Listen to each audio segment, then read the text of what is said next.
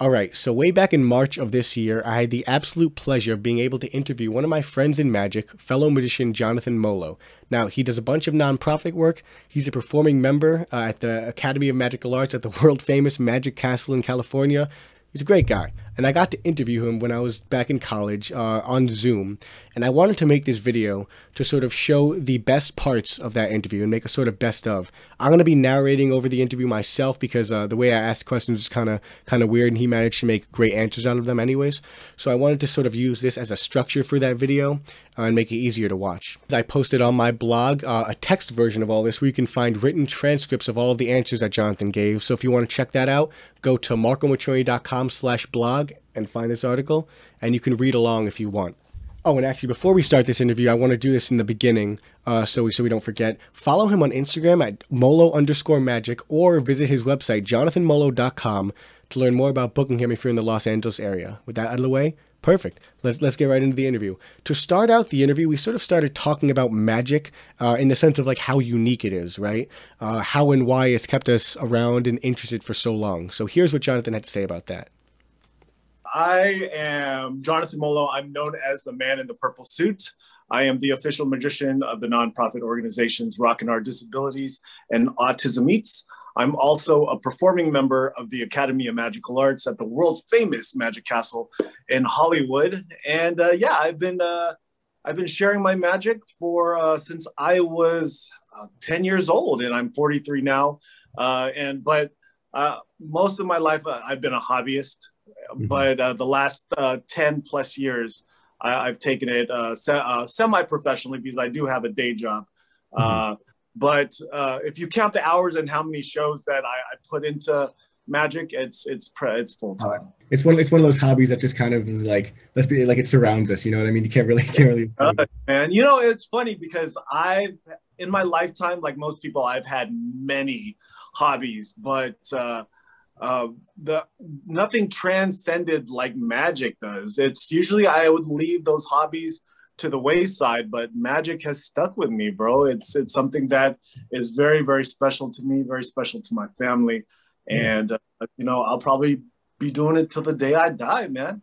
What do you think like differentiates magic from other performing arts? Like I guess you, you can compare it sort of to many performing, like even stand-up comedy in terms of the sure. interaction between audience member and performer. What do you think like differentiates magic? The thing is, is I, I don't have any comparison because I, I've never been a musician. Yeah. I've never been a comedian or anything like that. But I mean, we share, we make the impossible possible. Uh, we we we we make those miracles happen uh, in front of people, I, I guess. Uh, but you know, uh, in other arts, I'm not I'm not degrading any other arts. Like you know, musicians put in a lot of hard work, and some people consider that magic also in a, in a different way. Or uh, yeah, it's they're all very similar, but you know, magic. You know, we we bring that extra oomph. I, I, am biased mm. because we're magicians. We're both uh, biased. yeah, we're both biased. It's just we bring that little extra impossibility to it, and not too many people can do that. Uh, I can't play the guitar, but I, I can learn how to play the guitar, and I guess you can learn how to. Uh, I don't know, do a magic trick, but at the end of the day, I think there's more to it than just doing just, magic. So, from the very beginning of this interview, it became clear to me that Jonathan felt that there was more to magic than just having physical skill, and that it was really about connecting with your audience. But at the end of the day, I think there's more to it than just doing magic, you know, magic trick. Anybody can do a magic trick, but kind of extracting that magic uh, is the the magical part to it if that made any sense. I don't i don't know. No no definitely. I, I completely agree because you know like that that's the comparison that a lot of people make where it's like you can have the most technically amazing trick ever the trick that will every magician. But like what, what a lot of people say is they say that even when people do these tricks like they don't get the best reactions from from spectators. Meanwhile i think this magician made this comparison to like like eugene burger and just other magicians who like take this like very simple trick and flesh it out to where it's it's not it's about the interaction and also just like the personality of the performer. It, that's very underestimated. No, and you're you, you know what? Oh, I I just spoke. Uh, I did a podcast with my friend Danny, uh, a comedian out in uh, Tennessee, Tennessee, I think, and we were talking about that. Yeah. magicians, especially when I first started, magicians don't understand how much power they have. Not power uh, in regards to like, you know, I, I, you know, I own you or anything like that, but it's the power of emotion, how much emotion you can extract. I've done shows and I've done routines where I, I look at out in the crowd and somebody's crying. And I'm like, but it's not tears of like I hurt them or anything like that. It, it, it brought back a memory in their head. And when I when I go uh, when after I uh, my show's over, I go and uh, talk to them. And I'm like, I'm so sorry. What happened? You know, you're crying. And then they're like, you know, you that trick that you did.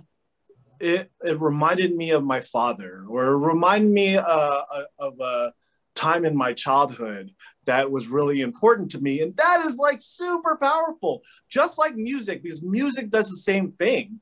But as a performer, uh, it's not just like pick a card, any card. If you can, I'm not saying you have to have a long, drawn out story that's most of like 80% of it is not true.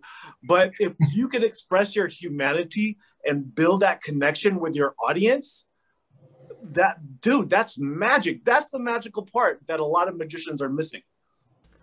Eventually, in one of his answers, Jonathan ended up bringing up a book by Ken Weber called Maximum Entertainment, which is a very popular book in the magic community. Uh, and I asked him what his favorite takeaway was, or if there was something in it that really made him like a, big aha moment or something to that effect. And here's what he had to say about that. You know, an important book that I've I've read many many times, and I actually just got finished reading. I usually read it after every uh, major performance that I have yeah. is uh, Maximum Entertainment by Ken Weber.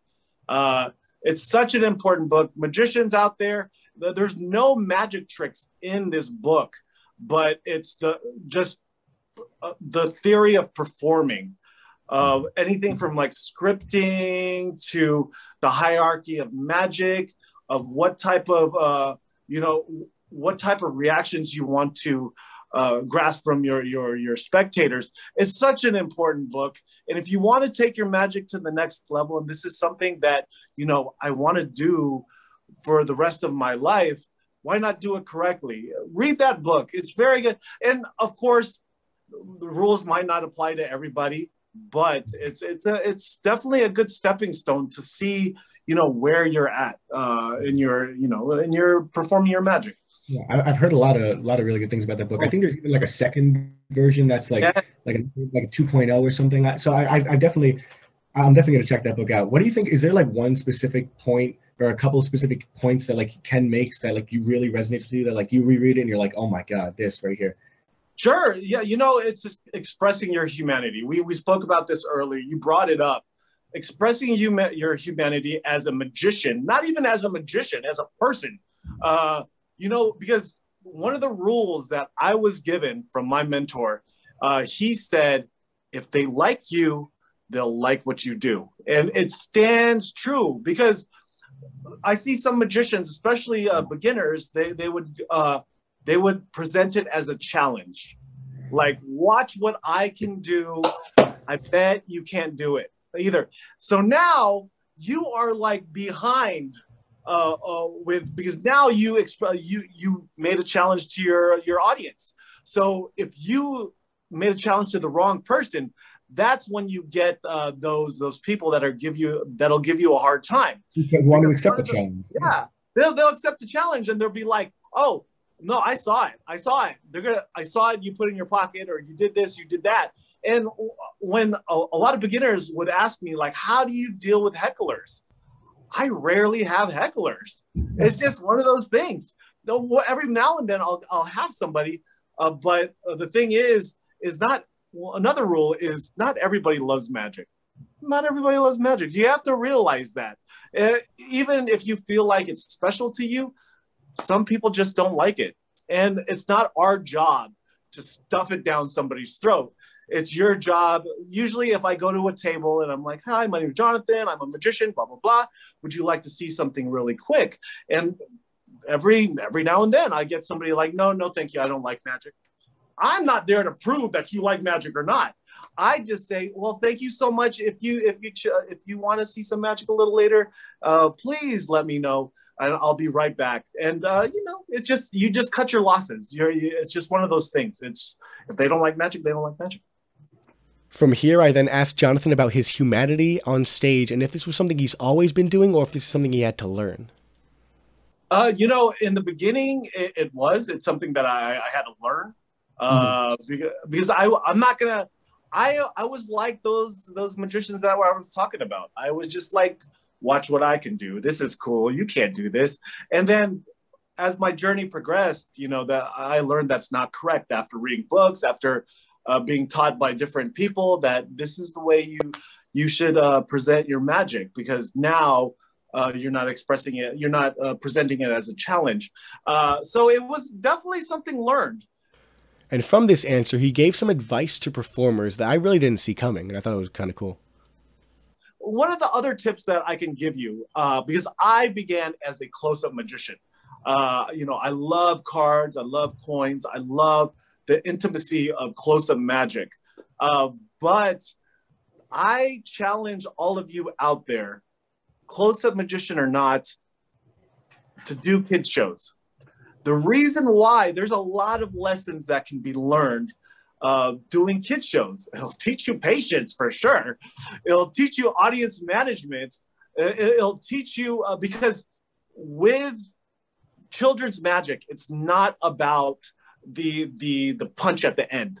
It's not about the the the, the destination. It's about the journey you take them on. It's all about the entertainment. Yeah. Uh, the fart jokes, the, the like, the, the slapstick humor. I'm not saying you can incorporate that uh, into your close-up material, but that energy that you bring, that entertainment that you bring to kid shows, that's what you can bring over to uh, your your close-up magic. Yeah, and you know what? I can kind of think about it now that you said that. It's kind of like uh, performing magic for kids is kind of like a hyperbolized version of performing for adults, right? Because kids, if you take them on this long 10 minute any card any number routine, they will get bored after the first four minutes. They wouldn't, they don't care. Kids have no filter, right? So I guess what you're, what you're oh, saying oh, is, but it's like a hyperbolized version of what these uh, what the adults would do because you know the adults might get bored too and if you even if it has the craziest any card any number and it works yeah. the kids the kids are maybe going to be a, a little bit um you know impressed about that one part but they wouldn't really like it's no. more about your thing. You know, you and you know, and, and, it's just not kids either. It's uh, adults too. You there yeah. are there are magic tricks out there. There are routines out there that are amazing, but are they entertaining? And will they put me to sleep? Probably. All right, from here, Jonathan brought up his distaste for a question that he sees asked on a lot of magic forums, such as the Magic Cafe. Uh, and the basic question is uh, what do you choose, magic or entertainment? Meaning, you know, that they're sort of mutually exclusive. Here's what he had to say about that. You know, I thought about this the other day. One of the questions that I see the most often in often in uh, um, you know Facebook magician Facebook groups or the Magic Cafe and stuff. Which one do you choose? Do you choose entertainment or magic? Which one do you choose? And I think that is the most stupidest question because you could combine the two. There is there's no like I rather have more entertainment than magic.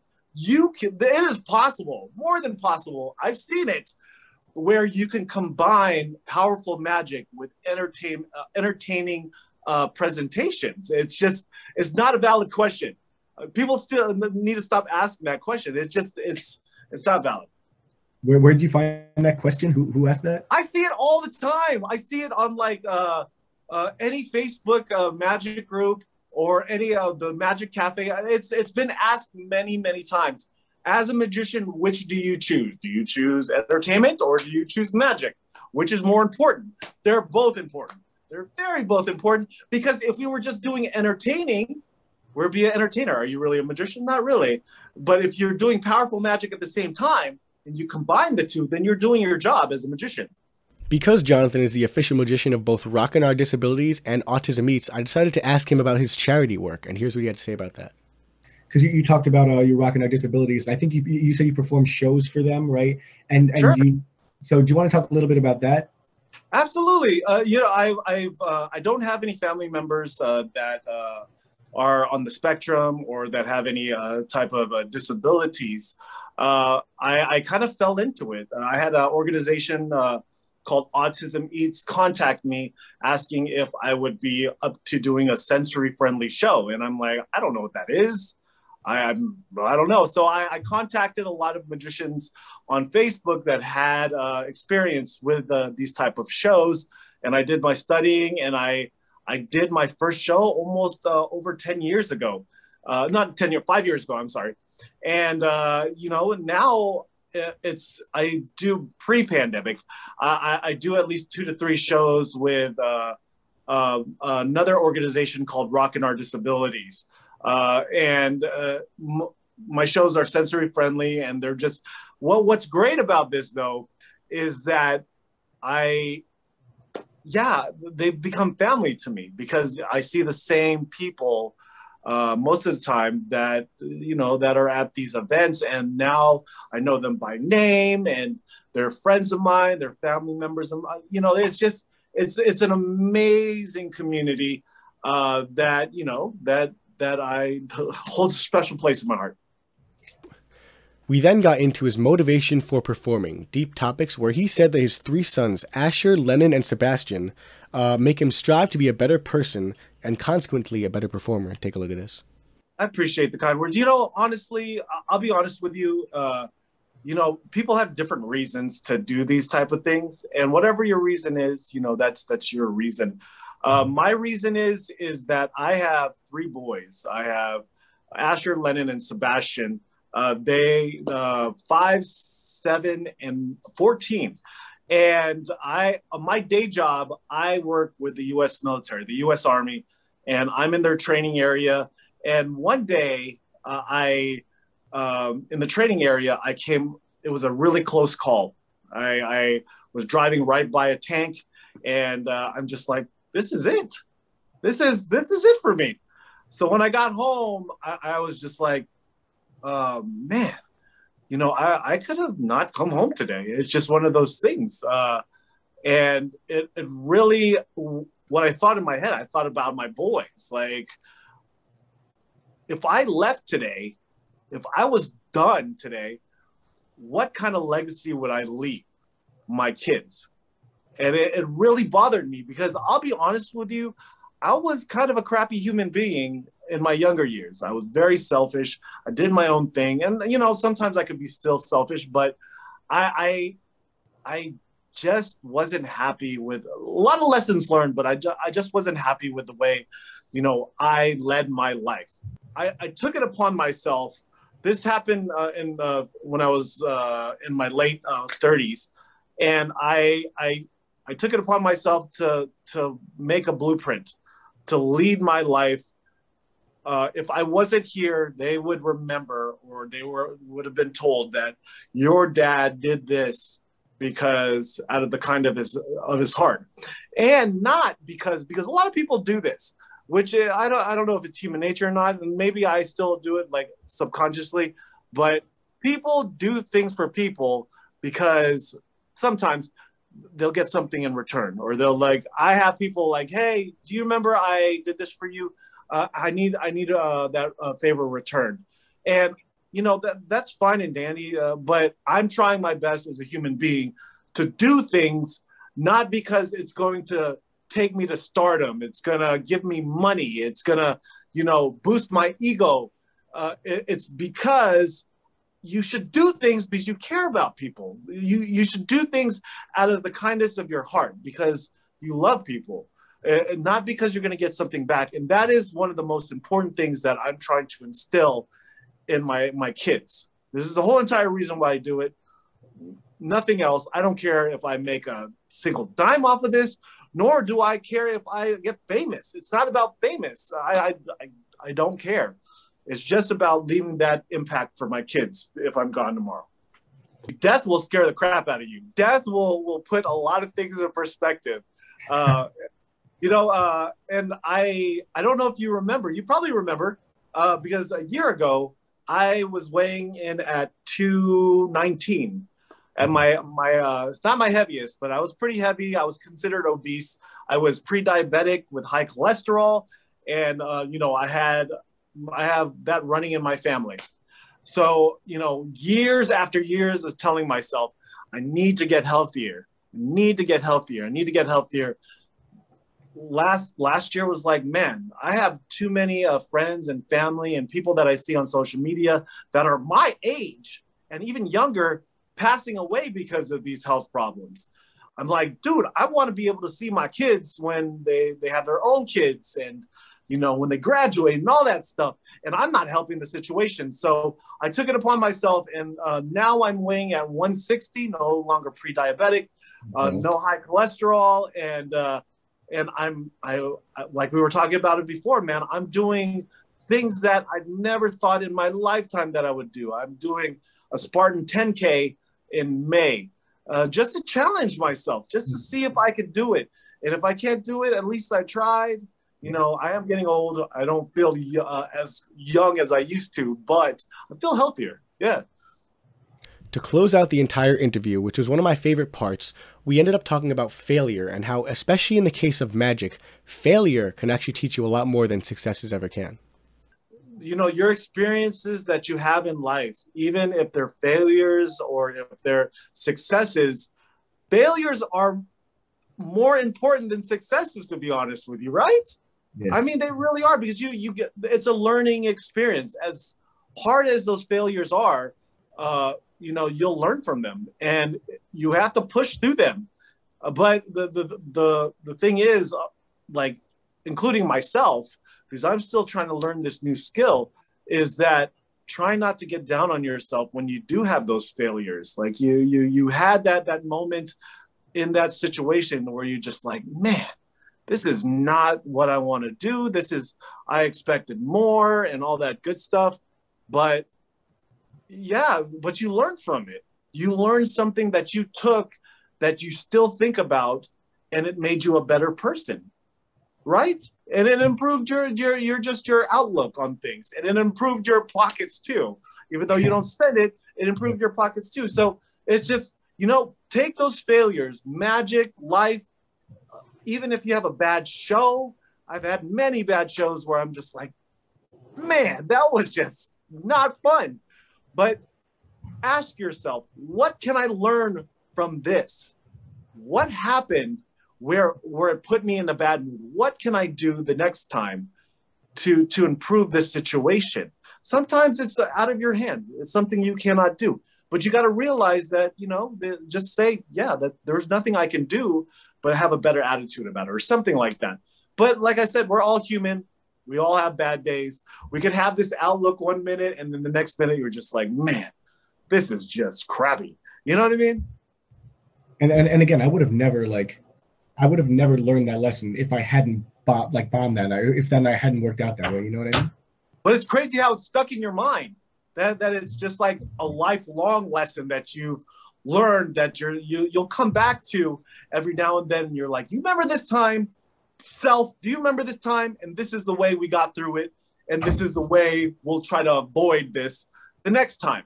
Um, but like I said, we're all human things happen. You're gonna, you might encounter that situation again, but you'll remember, like, I, I went through this before. I know how to kind of cope with it for the most part.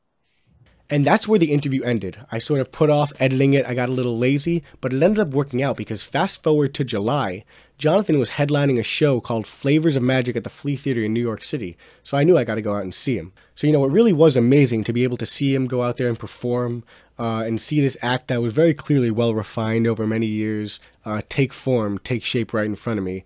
And one thing that I thought was really funny again was that his act had magic and entertainment in it, so I guess he didn't have to choose after all. Again, this video was supposed to be the video companion of the blog article that I wrote, so if you want to go check that out, again, that's marcomotroni.com slash blog. Take a look at all those articles, especially if you're a magician, I think you'll appreciate them a little more. Uh, and yeah, this was really fun. I, again, I wanted to thank Jonathan for doing this. He's a great person, you know, when the camera's on and off, and uh, a great magician. And we had we had a lot of fun being able to do all this stuff. And I'm, I hope I can bring some more of these interviews to you guys in the future. So again, I really wanted to thank Jonathan for for doing all this for me and allowing me to interview him.